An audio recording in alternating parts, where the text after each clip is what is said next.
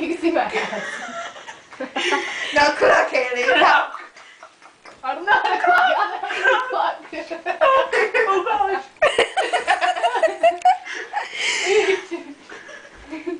Fucking clock! Ass in my face!